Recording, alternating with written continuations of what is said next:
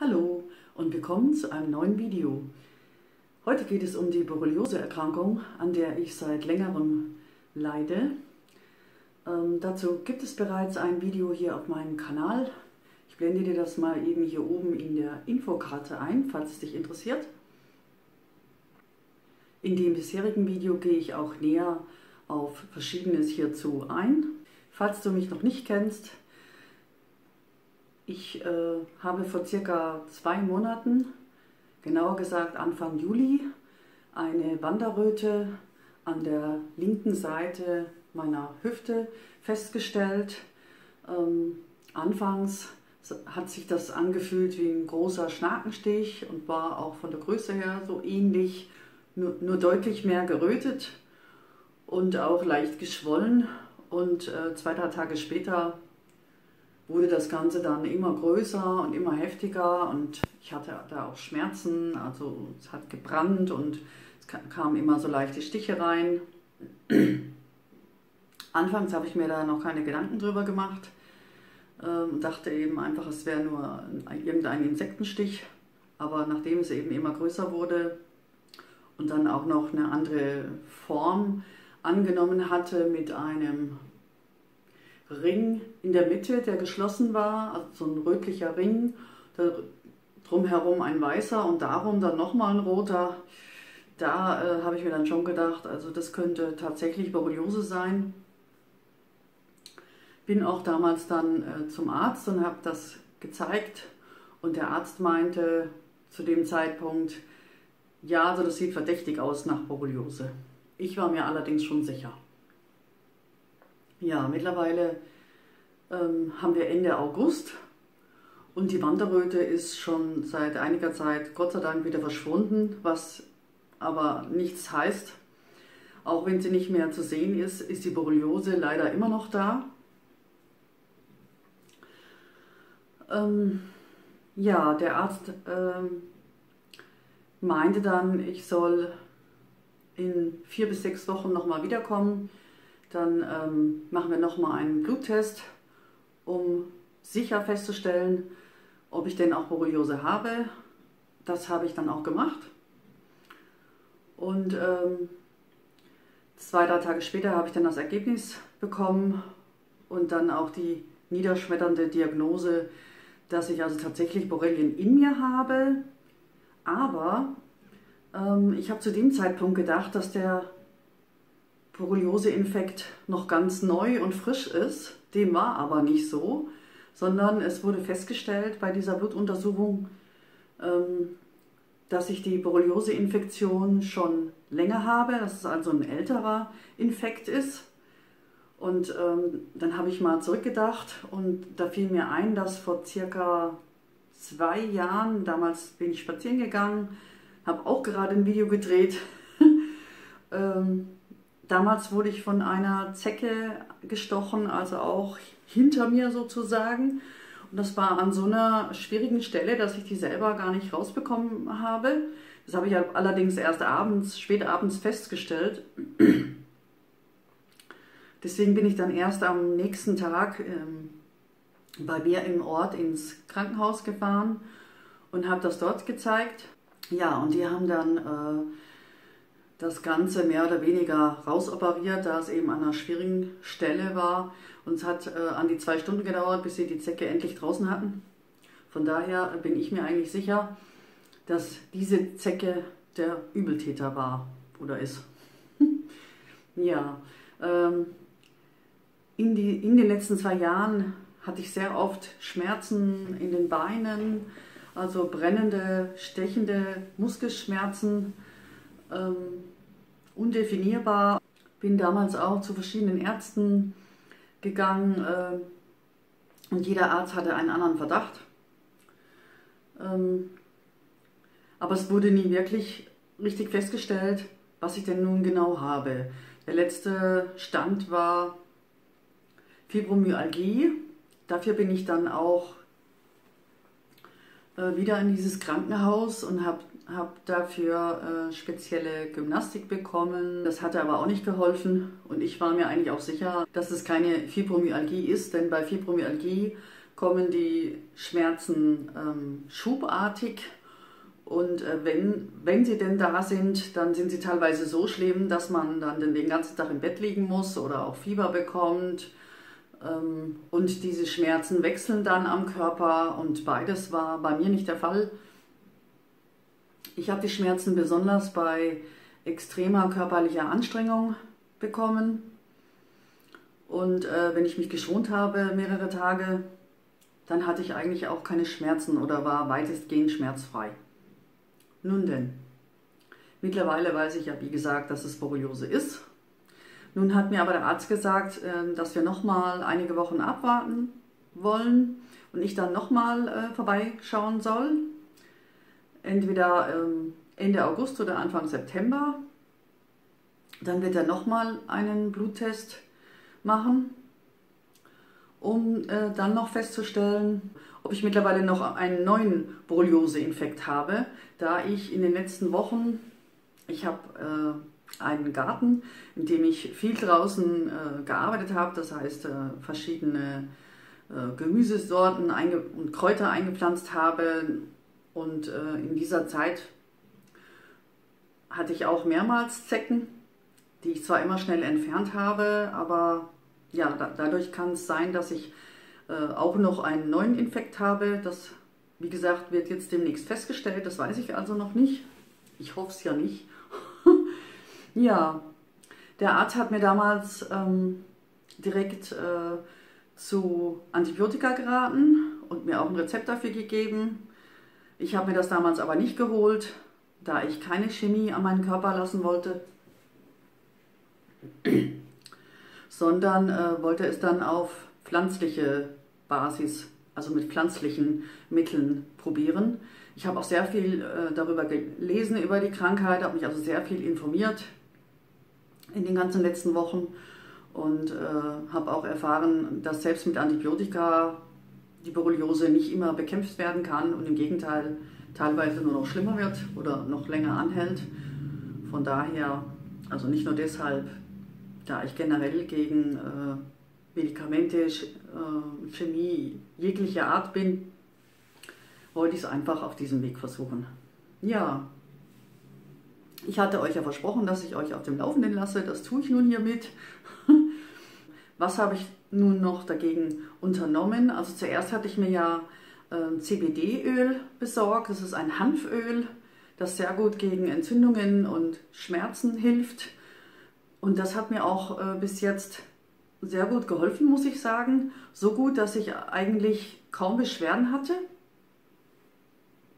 Trotzdem habe ich mir gedacht, das reicht noch nicht ähm, und habe mir, ähm, ja, wollte damals ja unbedingt die wilde Kade mir bestellen, da diese besonders gut bei Borreliose wirken soll. Das habe ich dann auch gemacht in Form einer ja, eines Kade Kräuterbitters, Roggenmalz Kornbrand,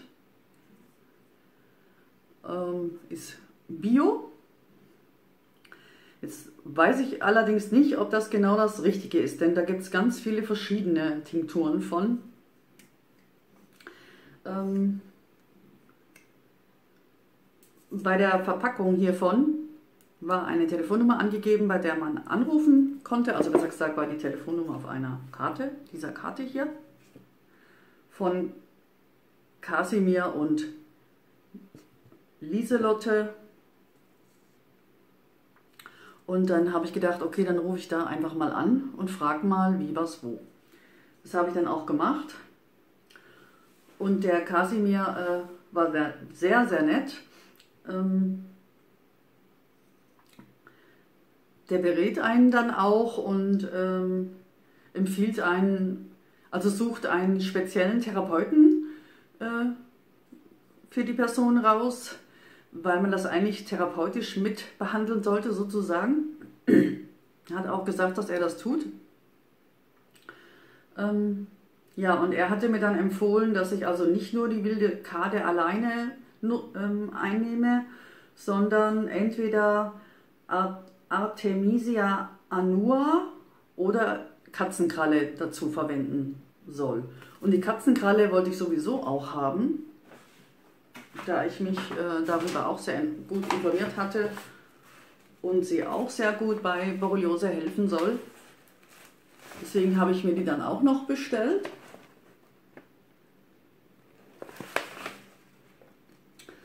Und ähm, der Kasimir meinte dann zu mir, ähm, wenn die Katzen, also das Katzenkrallenkraut äh, dann bei mir angekommen ist, dann soll ich mich nochmal bei ihm melden. Das habe ich dann auch gemacht und äh, habe ihn dann gefragt, wie ich die beiden Sachen jetzt zusammen einnehmen soll und wie lang, wie oft. Und dann meinte er zu mir, ähm, wenn ich zurzeit Beschwerden habe, dann soll ich beides zusammen einnehmen und soll ähm, die Katzenkralle drei Wochen lang mit der Kade-Tinktur einnehmen und dann eine Woche Pause machen. Unterstützen soll ich noch ähm, äh, entweder in die Sauna gehen oder Schwitzbäder machen. Ja, aber eben nur, wenn ich Beschwerden habe. Da ich aber zu der Zeit keine Beschwerden hatte, was ich ihm dann auch gesagt habe, meinte er dann zu mir, ja, dann brauche ich es auch nicht nehmen. Also man soll das nur äh, nehmen, wenn man wirklich Beschwerden hat.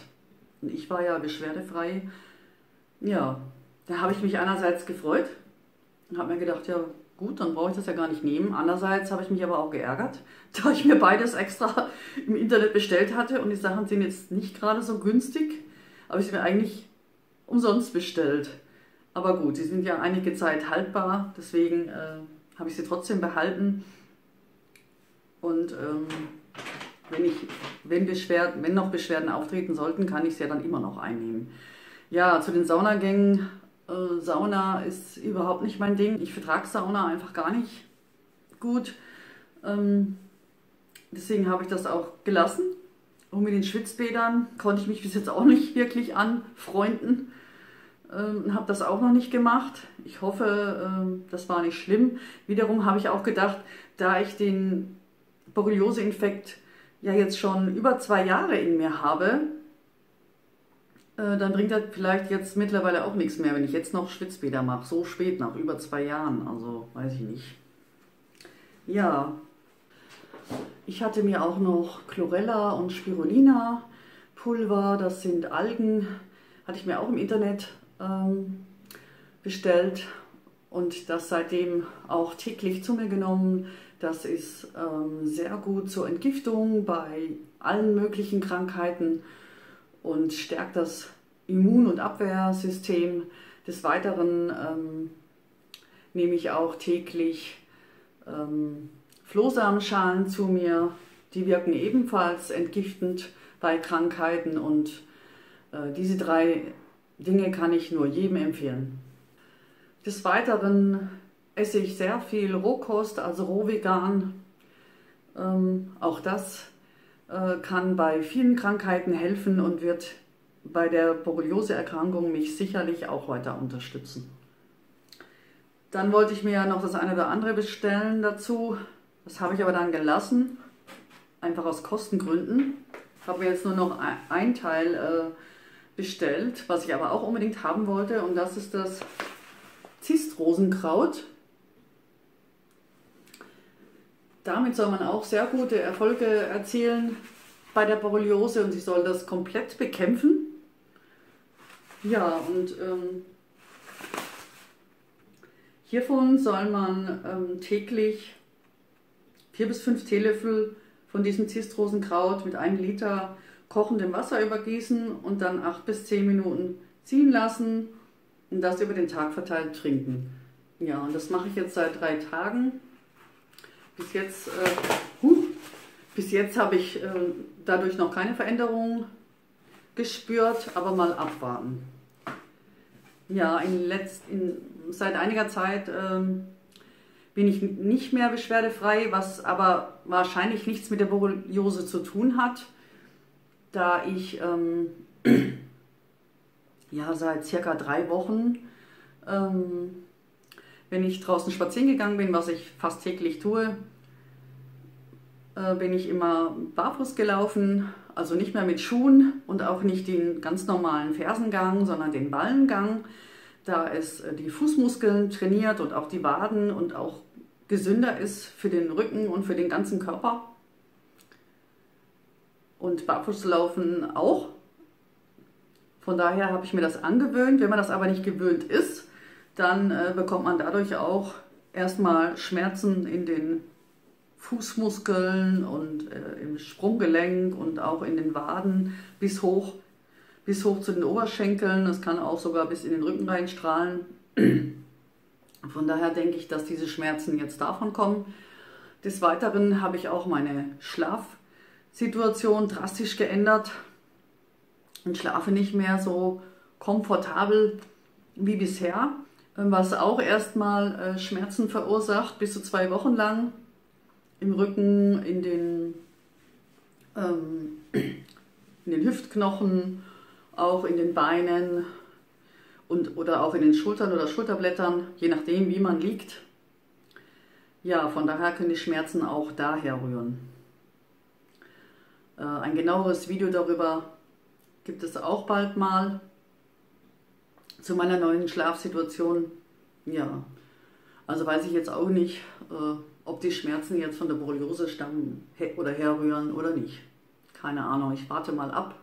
Ach ja, dann habe ich noch äh, etwas Neues in mein Leben sozusagen eingebaut. Ich hatte ja vor einiger Zeit, habe ich mal angesprochen, in meinem vorletzten Video mit Yoga mal angefangen, äh, was mir aber gar nicht, oder besser gesagt meinem Körper gar nicht gut bekommen ist. Deswegen bin ich davon wieder abgekommen und habe dann mit Qigong angefangen. Das ist äh, auch eine Sportart, aber noch langsamer als Yoga. Die hat mir äh, sehr gut getan. Äh, dadurch gingen meine Rückenschmerzen weg und ich wurde fitter, wacher. Ja, sie hat mir sehr gut getan, muss ich echt sagen. Aber ähm, wenn man sehr unsportlich ist, so wie ich, und eigentlich sein ganzes Leben lang nicht wirklich Sport getrieben hat, außer äh, Fahrradfahren oder mal Schwimmen, bekommt man auch davon äh, Muskelkater und Schmerzen. Äh, des Weiteren ähm, mache ich auch seit einiger Zeit spezielle Fußgymnastik, also Fußtraining. Das ist extra fürs Barfußlaufen damit die Füße auch ein bisschen beweglicher werden und auch die Zehen, aber auch davon äh, bekommt man erstmal Schmerzen und Muskelkater, also kann das alles davon sein. Ich weiß es ehrlich gesagt nicht. ja, ich wollte euch jetzt äh, das einfach nur mal mitteilen, wie es momentan aussieht und was ich eben ausprobiert habe. Mehr werde ich mir, denke ich, nicht mehr bestellen. Ähm, ja, seit zwei Tagen habe ich leider kein CBD-Öl mehr, da es leer ist. Ich habe vor vier Tagen bereits ein neues bestellt, aber es ist immer noch nicht angekommen. Ich hoffe, es kommt bald. Seitdem habe ich jetzt auch wieder mehr Schmerzen. Ja, keine Ahnung. Mal abwarten. Auf jeden Fall ähm, werde ich in ja, ein bis anderthalb Wochen dann nochmal Blut abnehmen lassen und dann mal sehen, was der Arzt sagt. Ob ich jetzt noch einen neuen äh, Borreliose-Infekt habe oder nicht. Ich hoffe es, wie gesagt, nicht ja, ähm, egal wie das Ergebnis ausfallen wird, werde ich dann dazu nochmal ein zweites kleines Update drehen, um euch weiter auf dem Laufenden zu halten. auf jeden Fall ähm, geht es mir im Großen und Ganzen sehr gut. Und ähm, ja, wie man sieht, war Antibiotika nicht wirklich nötig. Also muss nicht immer gleich zur Chemiekeule greifen und kann es erstmal mit pflanzlichen Mitteln versuchen.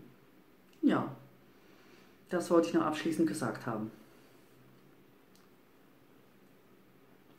Ich muss dazu auch sagen, dass ich äh, mich mittlerweile daran gewöhnt habe, fast täglich Schmerzen zu haben, da ich es ja seit über zwei Jahren habe. Und von daher ist es für mich ja eigentlich schon, es gehört eigentlich schon zu meinem Leben, es ist nichts Neues mehr. Ich weiß gar nicht mehr wirklich, wie es sich anfühlt, ganz schmerzfrei zu sein. Diesen Zustand kenne ich nicht mehr. Ja, aber solange die Schmerzen nicht schlimmer werden, ähm, ist es okay, dann kann ich damit leben. Manchmal sind sie eben stärker und manchmal sind sie ganz oder sehr schwach, sodass ich sie kaum spüre und dann ist es okay.